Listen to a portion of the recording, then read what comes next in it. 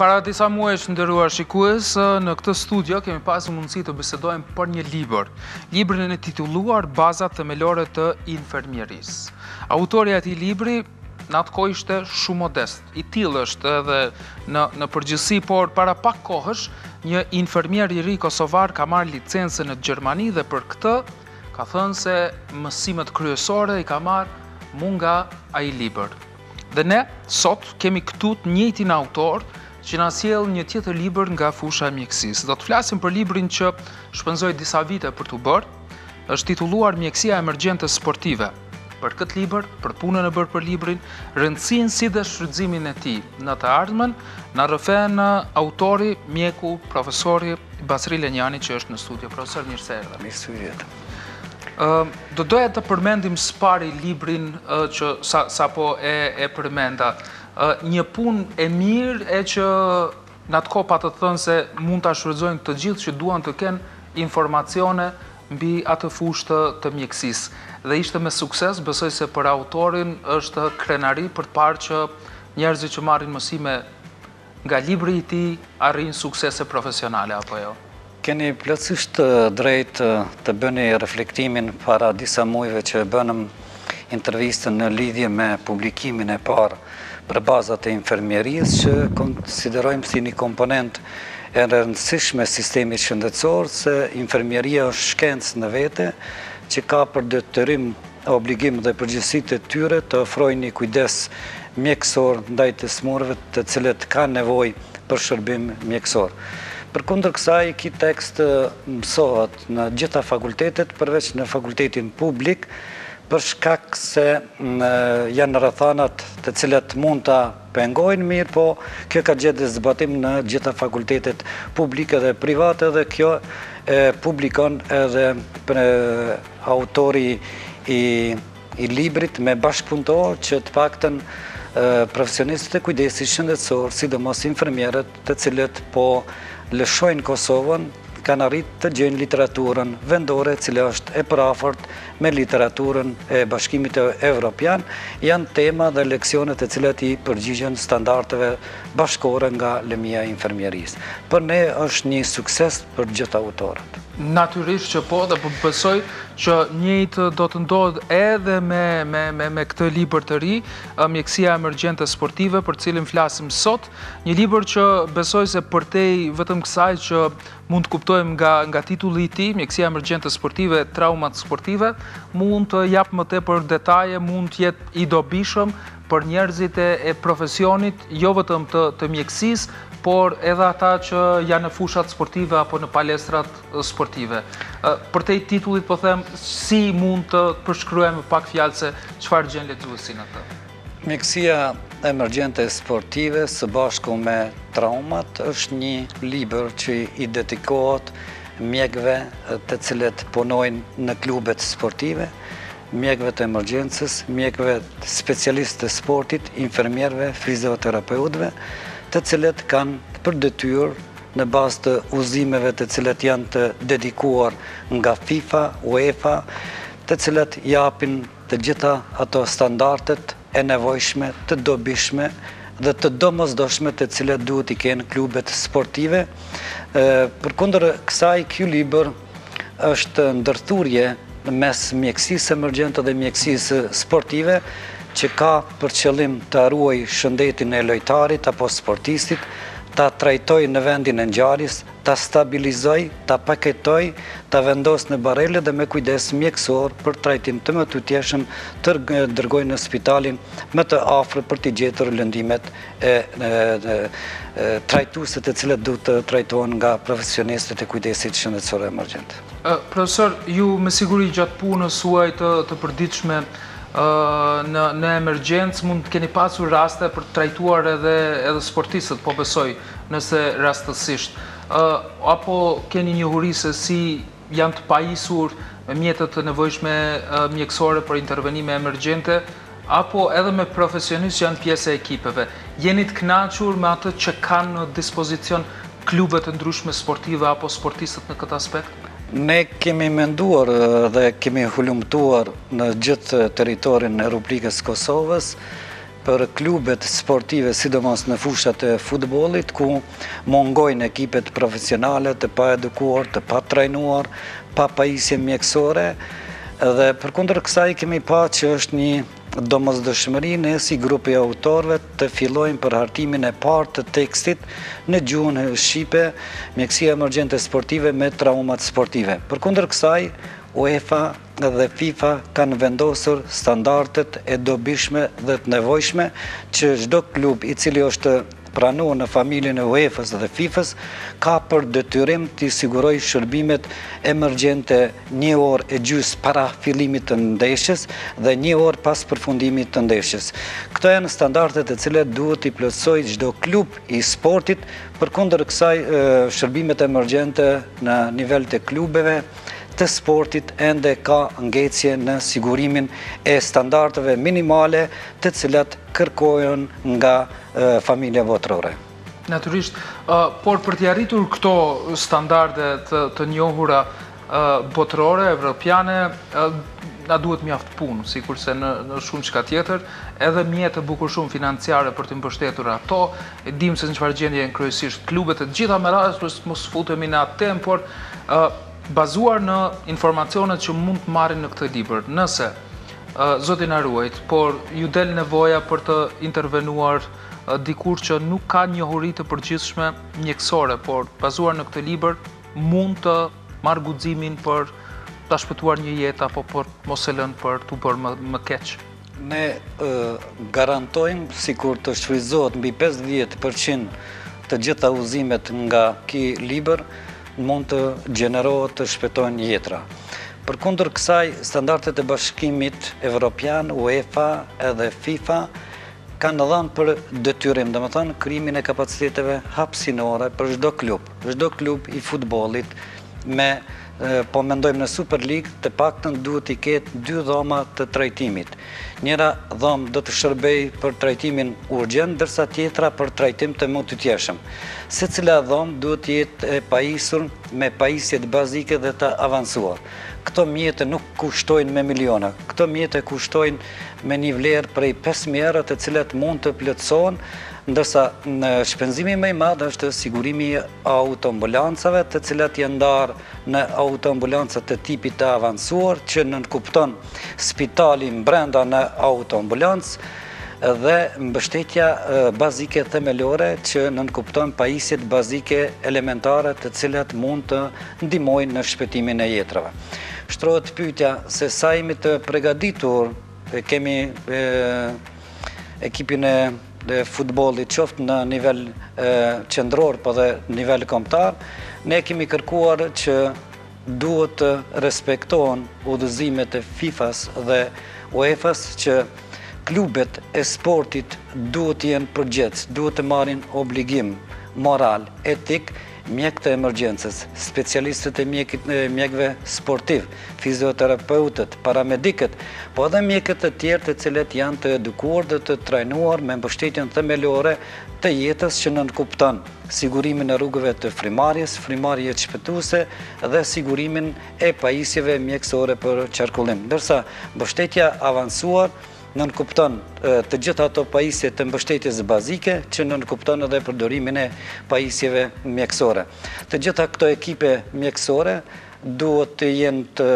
garant që ta ruajnë shëndetin e lojtarit, sportistit,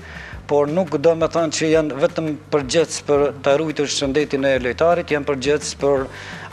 zyrtarët, personat të cilët i drejtojnë apo i organizojnë ndeshjet e sportit, po ashtu janë përgjegjës për të ofruar kujdes emergjent mjekësor më tepër se një mijë banorë. Kur kemi incidente madhore multiple, kur shfaqet rrezikshmëria mbi pesëdhjetë për qind, atëherë duhet të inkorporohet sistemi i integruar i shërbimeve emergjente që nënkupton marrjen e përgjegjësive sipas funksioneve. A jemi të gatshëm në aspekt të njerëzve për për t'i bërë të gjitha këto që kërkohen? A ka mjaftueshëm profesionistë të tillë në Kosovë? Përkundër kësaj unë e kam bërë. Ne po eksportojmë njerëz sa po mundemi, por a ka të tillë që do të mbesin në vend? Përkundër kësaj vizitën të cilën e kam bërë në stadiumin e Prishtinës, Fadil Vokrri, kanë arritë të krijojnë standardin mesatar bashkëkohor që i përgjigjen domethënë standardeve të UEFA-s dhe FIFA-s. Sa i përket profesionistëve të kujdesit shëndetësor, sa jemi të aftë të ofrojmë kujdes mjekësor emergjent për sportistët, ne kemi kërkuar dhe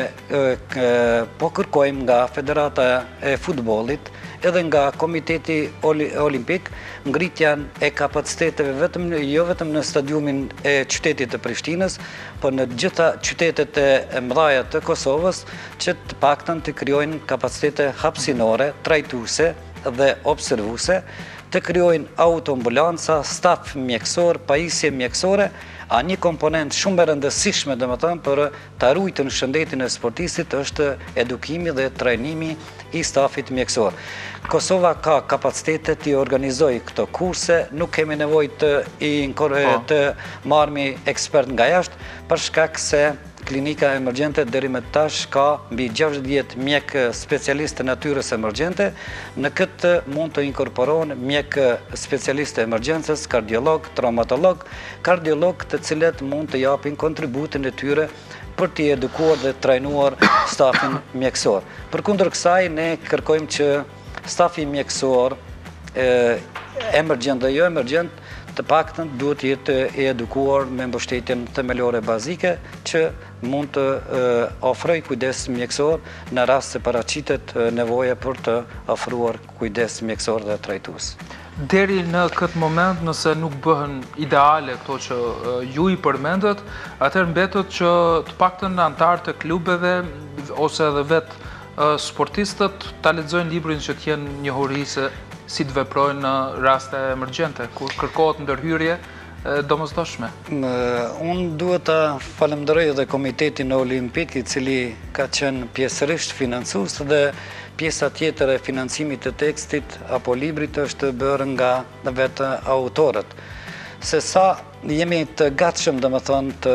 ofrojmë, ne si autorë kemi planifikuar t'i ndajmë 300 tekste gratis falas për gjitha klubet të cilat do të shpërndahen nga Komiteti Olimpik dhe secili klub sportiv dhe mjeku dhe paramediku apo infermierët, fizioterapeutët duhet ta kenë pranë dhe para se të fillojmë shpërndarjen e librit ne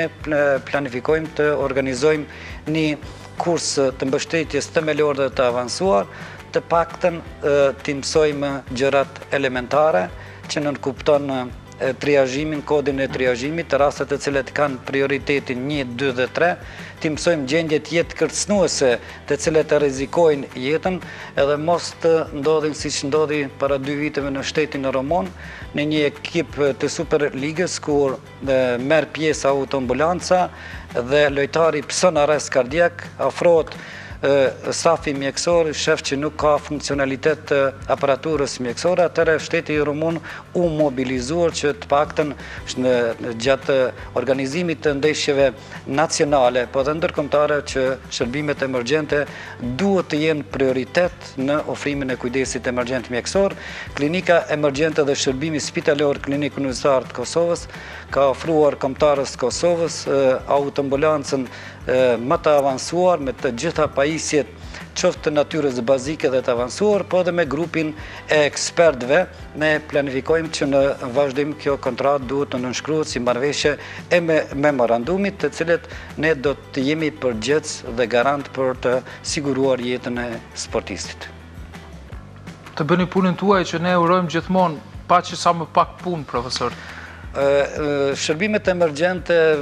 janë të paparashikushme. Të gjitha këto rastet nuk mund t'i parashikojmë që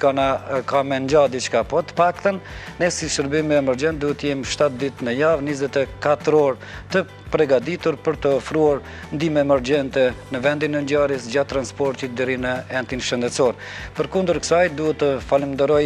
edhe recensentët e librit, profesor dr. Sadi Bexhetin, Faton Morinën, profesor I rregulli i ortopedisë dhe doktor Hashimin, drejtori i urgjencës